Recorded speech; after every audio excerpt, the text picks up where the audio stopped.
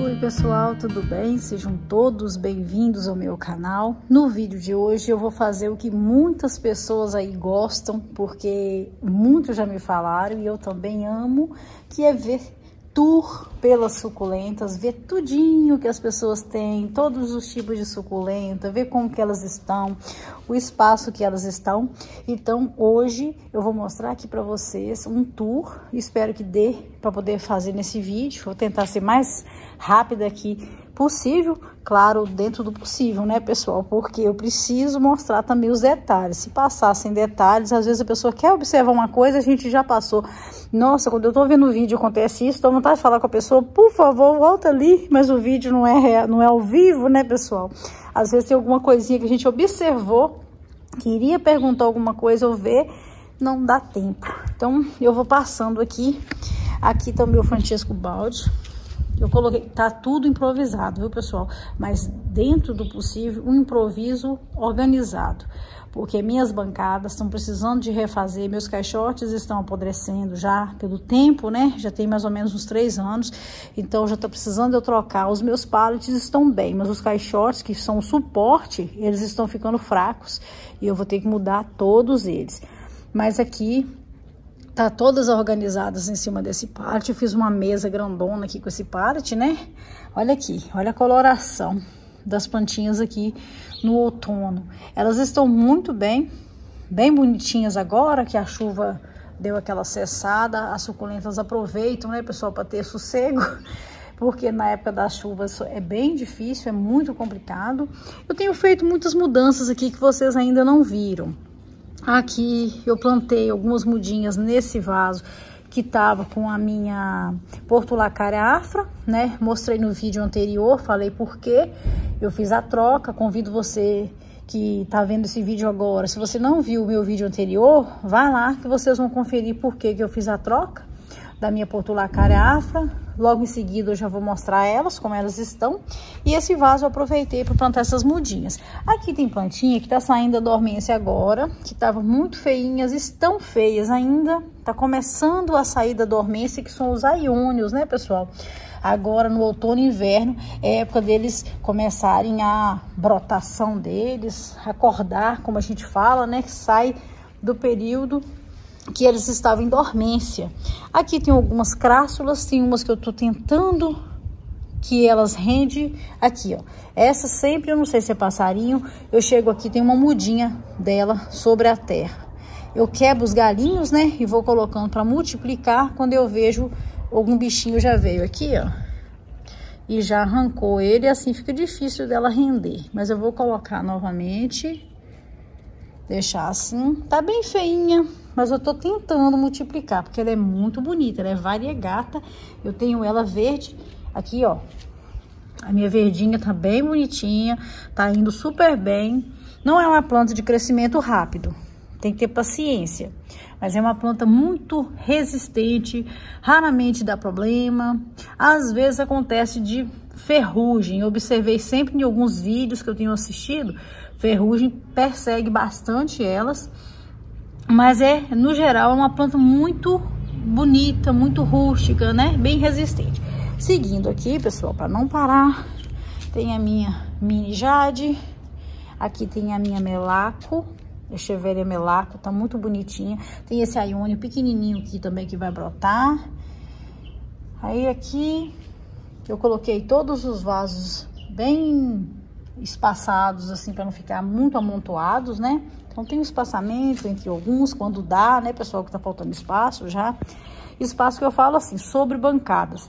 Eu coloquei várias aqui no chão também, mas depois eu volto no chão mostrando para vocês. A minha segunda mesa eu improvisei com uma mesa, dessas mesas de bar, mesa de festa. É, eu coloquei um pallet para ficar maior a base dela, porque ela era pequena, né? Então, com esse pallet, ele, ela ganhou mais largura, né? Então, é, ficou melhor, vai caber mais planta. Coloquei esses pendentes aqui, ó, desse lado, que estão todos muito bonitos. Olha só, pessoal, estão lindos. Olha, todos desenvolvendo muito bem. Foram plantados, deve ter uns três meses que eu plantei. Esse, essa floreira aqui, eu montei ela ontem à noite, já era noite já. Eu terminei de montar, tá até sujinha de terra aqui ainda, porque eu não fiz nenhuma manutenção nela, não reguei, que ela tá, o substrato tá molhado. Coloquei essas plantinhas aqui, comecei a colocar pedrinha, não deu tempo, mas eu já tô mostrando aqui pra vocês e vou fazendo na seguida, né, vou, vou cuidando delas. Tem umas aqui que tá até com a raiz exposta ainda. E eu vou tá, a rubela tá bonita, eu tirei do outro vaso que eu tinha montado e essa floreira tava sobrando, ela é muito grande, então aproveitando, né, o espaço dela, já coloquei algumas. Essa bacia também aqui tava no chão, eu até mostrei pra vocês no vídeo anterior, ela tava no chão, eu coloquei ela aqui em cima, tem uma mistura aqui de suculentos, tem alguns que eu não tenho identificação mesmo, e aqui, ó, Tá o meu lindo Sedum Aurora, coloquei ele aqui novamente, que ele tava em outro lugar. Tem mais um, mais um Iônio Kiwi, esse o pezinho dele tá bem maior, tá mais bonitinho. Aqui tá o meu Trileace, que também plantei nesses vasos, que são vasos de parede, mas por enquanto eu não vou colocar em parede. Aqui então tá minha Portulacária afra, como eu disse para vocês, passei ela para esse vaso mais fundo. Passei as duas, pessoal, olha só, as duas, ó. Esse vaso e aquele pretinho lá da frente, são as duas que estão assim, ó. Agora mudei de ideia, tá vendo como eu mudo de ideia? Eu não acho feio mudar de ideia, pessoal. Eu gosto porque a gente vai, vai criando de acordo com o que a gente vai esperando da planta. Essa aqui engrossou bastante o caule, ela tá bonita, mas só que eu percebi que ela parou o desenvolvimento, tá muito lenta. E eu não quero ela assim. Eu tenho visto, né, vídeos de Potulacária afra bem grande e eu quero a minha também assim. Então mudei de ideia, passei para um vaso maior, vou adubar elas para elas crescerem. Então aqui tem algumas plantinhas também que eu gosto muito. Esse aqui que era um senécio, agora diz que a identificação dele mudou, né? Ele não é senécio mais, mas ele é uma plantinha muito interessante. Não chama tanta atenção, mas para mim eu acho ele bem interessante. Essa portulacária que eu já disse para vocês antes, Tentei de todas as formas colocar ela com os galinhos para cima, escorando ela para ver se ela fixava, ela só quer ficar pendente. Então, ela me ganhou, deixar ela pendente.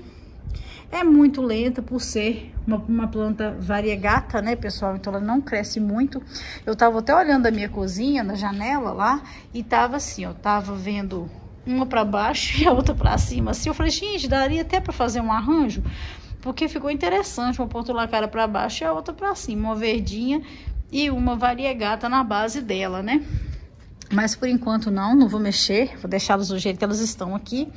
Aqui tem a minha chevélia pampa. A pampa é muito comum aqui na nossa região, é uma suculenta que eu gosto muito, mas é muito comum, se encontra em qualquer lugar. Aqui tem a minha jade, que tem a folha oval, né? Ela tem essa pontinha bem compridinha. Eu gosto muito, eu tô fazendo essas mudinhas delas. Aqui, ó, tá a minha crássula. Que essa aqui é aquela crássula que as pessoas gostam de chamar ela de suculenta fogueira, né? Ela é bem interessante. Eu gosto demais dessa coloração dela. Olha que linda que ela é, pessoal. Ela é maravilhosa, dá brotinhos na folha, ela brota por folha, ela dá muita brotação entre as folhas e virando galhos, né? Ela fica muito linda essa crássula. Aqui tá o meu Rubutictum, que é um sedum também que colore muito. Eu acho ele muito interessante por isso, ele ganha muita cor, colore muito a, o jardim, né? Ali tem um aiônio negro, que é a primeira vez que eu cultivo ele assim desse jeito, tá bonitão, tá todo lindo. Ali tá o meu, meu graptopétalo mirinai, eu tenho mirinai e tenho mendonzai. Esse aqui é o mirinai, pessoal. Olha que lindo que ele é. Achei ele bem interessante, o mirinai. Aqui tem a minha gigante Beach Waves, que sempre brilha aqui, ela é gigantesca, tá numa bacia grande também. Tem uma variedade ali que na hora que eu fizer a volta eu mostro pra vocês do outro lado. Essa bacia aqui, essa outra, baciadas, né? Essa variedade, com variedade, essa aqui toda de Supreme, Graptopétalo Supreme, acho que é Graptopétalo mesmo. Supreme, que ela é maravilhosa. Primeira vez que eu tenho a Supreme tão assim larga, com as folhas mais largas, mais interessante. Ela teve, assim, bem fraquinha mesmo, mas o que que eu fiz? Passei pro substrato novo e tô regando ela com o, o adubo foliar da Terral, né? Que é aquele poderoso adubo da Terral. E ela tá amando esse adubo, pessoal. Até dei uma maneirada para poder não ficar super adubada. Então, eu vou passar uns 15 dias, depois eu volto novamente um pouquinho, bem fraquinho, mas eu vou continuar, né, não tão frequente, mas eu vou adubando ela de vez em quando. Essas todas aqui mais altas, também são plantas que passaram por troca de substrato, mexi nelas, elas estão lindando aqui. Aqui embaixo eu mudei há poucos dias, ainda tá sem raiz, a minha Milky Way, que ela tava numa bacia bem bagunçada. Tinha a minha Equador, tava junto e tava uma bagunça. Passei ela pela essa bacia menor, já passei por bacia cheia para ficar já lotada. Aqui tá a minha orelhinha de... O pessoal fala orelhinha de coelho, que essa aqui é a minha tomentosa. Muito linda a tomentosa, né? Calanchoi tomentosa. Essa aqui que eu não tenho identificação, já falei que era uma coisa, aí o pessoal falou que era outra, agora eu prefiro não ter identificação errada, pessoal. Aí vocês coloquem aqui nos comentários pra mim. Parece pedra da lua, mas não é. Olha, que a pedra da lua, acho que ela é mais redondinha, né? As folhas mais boleadinhas, essa é levemente achatada. Aqui é minha florífica, Echeveria florífica, que é uma Echeveria muito pequenininha, ela é mini e ela é muito charmosa. Ela dá aqueles bracinhos e esses bracinhos são mudinhas, é só a gente ir tirando e colocando substrato que a gente rende rapidinho. Eu não vou falando sobre cada uma, pessoal, senão vai ficar muito longo. Eu tenho que mostrar muita coisa pra vocês, muita mesmo. Essa parte aqui eu tenho mostrado. Mas pra mostrar na sequência, né, do jeito que eu tenho feito, na sequência que eu montei as minhas bancadas para você, vocês verem direitinho da esquerda para a direita, que seria de lá para cá, né? Trazendo vocês aqui, ó.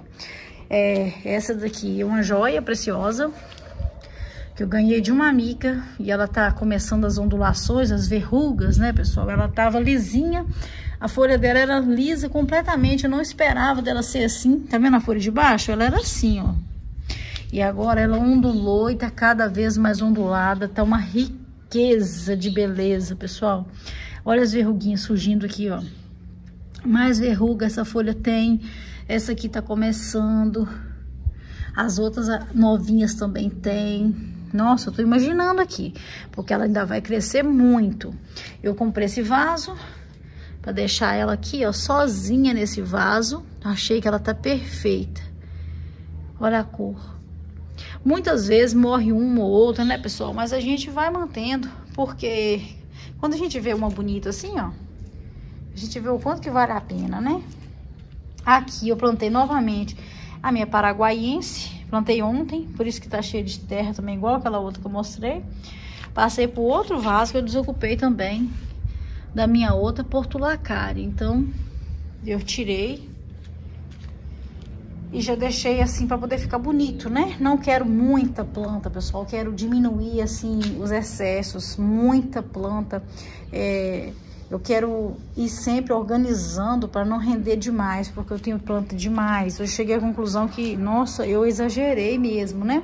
Mas também, olha, primeiro ponto, eu gosto muito. Segundo, o canal, né, pessoal? A gente vai buscando coisas novas para mostrar para vocês e acaba que eu comprei muita, ganhei muita, fiz troca para ter coisas diferentes e acabei tendo planta demais. Aqui, ó, eu tenho essas duas plantas lindíssimas que eu vou colocar no meu jardim, se Deus quiser.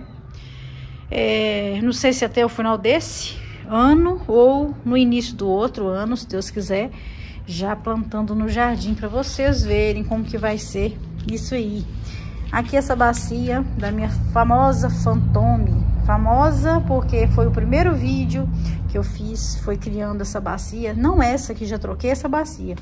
A bacia dela já acabou eu já passei para outra, né? Mas ela sempre, ela fez parte do início do canal. Tem muito carinho com a Fantome, tem história da Fantome aqui para contar, né?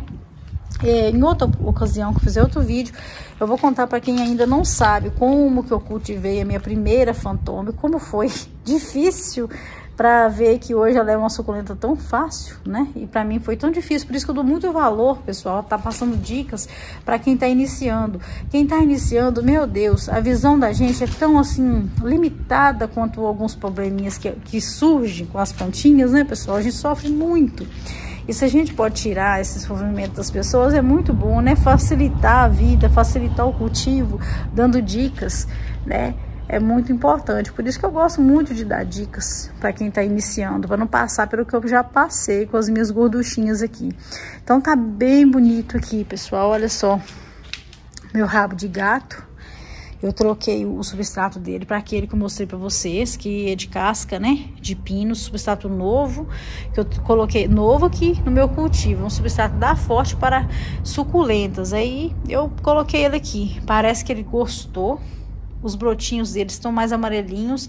Isso quer dizer que ele já está brotando mais, que ele já está é, crescendo, né? Então ali eu já tenho bolinhas vindo, olha, brotações vindo.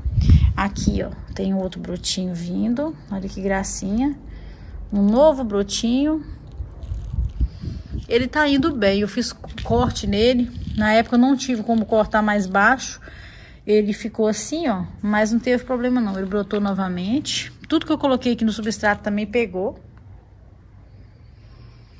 Meu celular deu um, uma pausa aqui que tá indicando que tá com a bateria fraca já. Espero que não tenha atrapalhado o vídeo aí. Desse lado aqui, pessoal, olha só. Tem essa outra ondulada, que eu não tenho identificação dela, não. Mas ela é muito bonita, ficou muito bonito esse arranjo aqui. Agora, eu vou passar pro outro... Ah, deixa eu mostrar antes pra vocês aqui, ó. Uma menina perdida aqui, ó. Minha Jade. Outra mudança que eu fiz e vocês ainda não viram. Passei ela pra esse vaso grande. Eu tinha três bacias da Jade. Coloquei tudo junto. Então, eu acho que vai ficar bem interessante esses troncos assim, pessoal. Eu acho lindo demais ver ela assim, ó, de baixo. Eu acho lindo. Aí eu coloquei elas nesse substrato novo. Aqui, ó. Então, passei ela faz poucos dias. Mas eu achei que ficou bem interessante. Como as bancadas aqui não couberam, pessoal, aqui embaixo, eu coloquei bem no cantinho para não ficar muito bagunçado. Ali, ó, eu tenho a minha Jade, que é a minha Jade mãe das outras Jades. Então, essa aqui, ó, com caule mais grosso, eu vou manter ela assim por enquanto. Se não mudar de ideia, ela bem assim, ó, a copa dela já tá enorme, bem fechadinha por causa daquelas podas, que eu fiz muitas podas, pessoal. Aqui no canal tem vários vídeos para vocês acompanharem aí de tudo que eu já fiz para essa Jade. Essa Jade, ela tem recebido muitas podas para ficar com a copa cheia, para ficar bem bonita, né? Aqui, ó, dá para ver onde tem as podas, não dá nem para ver direito, na verdade, né? Porque aqui, através das podas, eu multipliquei demais essa copa. Então, ela tá brotando agora, mas ela já tá completa de folha, tem muita brotação e poucos galhos, né? Mas eu fiz isso para ela ficar justamente assim, com bastante poda para ter bastante galho, bastante folha, né?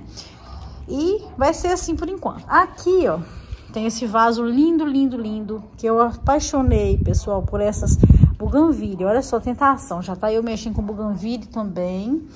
Para quem gostava de suculentas e cactos só, já tem muita folhagem, já tem buganvília. Não basta ter buganvília, eu tenho que fazer um trabalho com elas. Tô tentando arrumar outras cores, que nesse mesmo vaso eu quero plantar branca e vermelha. Aqui eu plantei rosa e laranja, esse salmão, laranja, não sei, laranja, né, pessoal? Eu misturei, olha só como ficou bonita. Essa laranja, ela tem a folha variegata. Olha só, a mistura que isso vai ficar. Eu acho que vai ficar fantástico. Eu quero, o vaso é grande, então é um vaso que vai dar para eu manter. É um vaso velho. Eu plantei nele assim mesmo, até ver, né, como que vai ficar. Eu vendo que elas vão, elas vão ficar entrelaçadas, pessoal. Eu vou entrelaçar elas para elas crescerem bem assim amarradinha mesmo uma nas outras. Eu vou plantar mais duas aqui, eu acredito mais duas cores. E depois eu vou manter a poda constante, igual tá aqui, ó a poda para elas ficarem baixinhas e cheias de floração. Então, uma bolinha de flores coloridas, né? Eu acho que vai ser um, é um projeto, né, pessoal? Eu acho que vai dar certo e vai ficar bonito, não vai? Coloquem aqui nos comentários para mim se você gostou da minha ideia, se você já fez algo parecido ou se você também quer fazer algo parecido aí, ó, para ficar assim, ó. Compra um vaso bem bonito depois, né? E aí é só tirar o torrão e passar elas que elas vão ficar lindíssimas. Manter a adubação sempre para ter flores grandes, igual a minha tá ali, ó, com adubação, pessoal. Sempre adubação para ela ficar com folhagens bonitas, brilhantes e flores lindas também, né? Olha que lindo o vento batendo nelas. Olha que linda. Ela tá linda. Aqui no chão, continuando, tem algumas bacias, aqui tem a minha Crispet Beauty, tem essa outra crássula variegata, que eu tô fazendo mudas. Eu não quero esse tanto, pessoal. Olha, eu vou, depois eu vou dividir, fazer uma mudinha, um vasinho, dá para alguém, porque não dá para manter uma baciada dessa, né? Não tô fazendo produção para venda, não. É apenas meu cultivo aqui. Por isso eu não posso ter muitas. Aqui, ó, seguindo, tenho essa que eu encontrei na rua, mostrei para vocês que eu achei ela no lixo. E é claro que eu não ia deixar ela ficar lá jogada. Trouxe ela, deixa eu dar um, afastar um pouquinho aqui para vocês verem melhor. Já coloquei ela num outro vaso, depois eu achei que tava ficando, ela tava crescendo muito, tomando muito, é, tomando é, posse do ambiente todo. Aí eu passei ela para essa floreira para poder com, controlar. Aqui tem esse onda do latifúria também. Que tá assim, plantei pra ela renovar, porque ela tava feia, agarradinha, que não ia pra frente de jeito nenhum, uma planta muito estagnada. Mas agora tá desenvolvendo. Essa bacia aqui tem de tudo um pouco. Mudinhas que estavam perdidas. O meu, bom, o meu berçário caiu, derramou tudo. Então essas mudinhas ficaram todas perdidas eu peguei, aproveitei e coloquei elas nesse cantinho da bacia, né? Pra elas não, não morrerem, né, pessoal? Mas não sei nem que suculenta que é. Coloquei aqui. Aqui eu tenho dois tipos, né? Do meu sedum é, maquinoi, sedum maquinoi verde e o variegata dele. Eles estão misturadinhos, não estão muito bonitos é, tiveram lindos, depois feinho. Eu não dou sorte com ele, pessoal. Não sei o que que acontece. Mesma hora que eu tenho um maquinói maravilhoso, ele dá problema, mas tô tentando manter o que dá aqui. Aqui eu tenho uma Sedeveria Letícia, maravilhosa, no formato de bonsai. Não tive bancada mais para pôr, pus no chão. Aqui eu tenho um colar de melancia, que tá recém plantado, já tá começando o desenvolvimento. Aqui eu tenho a minha pálida, que também não posso deixar esse tanto de pálida. Quero diminuir, tirar uma muda só, manter uma muda só já basta. Isso era um vaso que eu coloquei várias mudinhas, que ela brota muito. Reaproveitei todas, mas eu não quero continuar fazendo esse tipo de coisa, não. Muita suculenta da mesma espécie, não. Diminuir as quantidades, o tamanho do vaso, né? Pra manter, pra poder ter várias espécies diferentes, não a mesma, né? Aqui tá minha colher de cobre. A minha colher de prata tá ali para plantar ela. Já tirei até do vaso, tá sem vaso. Mostro para vocês em outro vídeo. No vídeo de hoje ela não vai aparecer. Eu tenho duas mudas grandes, mas estão arrancadas. A de prata já foi mudada, trocou de substrato, tá? Começando a renovação aqui dos brotos. As mudinhas de baixo eu mantive, eu troquei e mantive elas aqui embaixo na base para elas crescerem. Aqui mostrando para vocês já o resultado da poda da minha lindíssima crássula falcata, que tá parecendo desidratada, sentiu bastante, pessoal, troquei o substrato dela, sentiu muito. Fiz a poda e olha aqui o resultado da poda. Dois lindos brotinhos aqui na copa. Ela, o ferrugem voltou a atacar ela, Infelizmente, pessoal, não tem jeito. Ela é uma vítima de ferrugem. Aqui embaixo tem várias brotações também. Então, quando eu podei ela lá em cima, aqui embaixo também, ela teve novas brotações. Então, ela tá bem, né? Apesar de muito feia. Eu já apliquei fungicida, vou ter que trocar, que aplicar novamente, porque olha como que tá a ponta da folha dela. Então, pelo menos eu espero que não vai atacar as mudas, né? E eu vou ter que combater ele rápido. Coloquei o substrato novo e então já tá vindo brotações aqui também. Agora do lado de cá, pessoal, porque eu mostrei pra vocês esse outro lado aqui, essas bancadas daqui. Agora, eu vou mostrar do lado de cá. Que também tem uma bancadinha mais estreita, mas tem uma bancadinha bem cheia. Então aqui tem algumas que ainda eu tô colocando no cantinho assim, do jeito que dá, né? Olha, tem algumas aqui no chão ainda. Eu vou manter alinhadas para não tomar muito espaço, mas eu preciso manter. Aqui tá a minha Equador, que tava junto com a minha Milky Way. A bacia era a mesma, coloquei ela aqui e ela tá sem raiz, tá só decapitada, né? Essas outras já estão lindas e tem aparecido bastante nos vídeos, então por isso eu vou passar aqui, ó, rapidamente, porque os vídeos que eu mostrei para vocês mais recentes foram dessas aqui, mas tem muita gente que chegou agora, então sempre tem gente nova, né, pessoal? Sempre vai chegar pessoas que vão ver pela primeira vez. E esses que estão chegando pela primeira vez, eu convido vocês também para conhecer o meu canal, para visitar todos os outros vídeos que eu tenho. Então, encerrando aqui o vídeo de hoje, pessoal, espero que vocês tenham gostado, né, do tour pelas minhas suculentas e rosa do deserto e bougainville. E aqui tá minha rosa deserto abril, pessoal, olha que coisa linda. Vou fechar aqui com ela, a rosa deserto negra, que tá muito bonita. Espero que vocês tenham gostado. Se você gostou, deixe o seu joinha para mim. E até o próximo vídeo, se Deus quiser. Fiquem todos com Deus. Tchau, pessoal.